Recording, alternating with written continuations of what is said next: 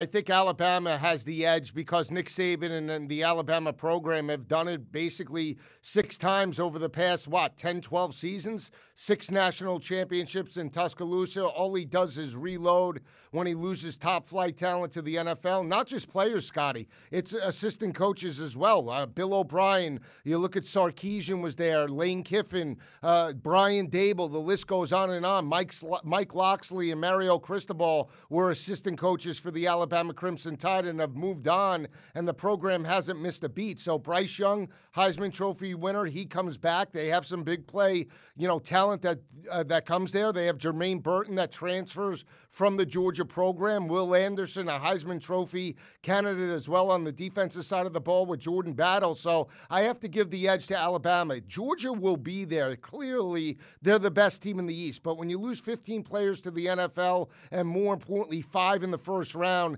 that's a lot to ask from a program that hasn't won a national championship or now won their first in the last 41 years. So we have to see if they can maintain that consistency. I don't think 10 and 12, uh, 2 is out of the realm of possibility, but expecting this team to just regroup and be there with Alabama, I just don't see it in year number two uh, after a national championship.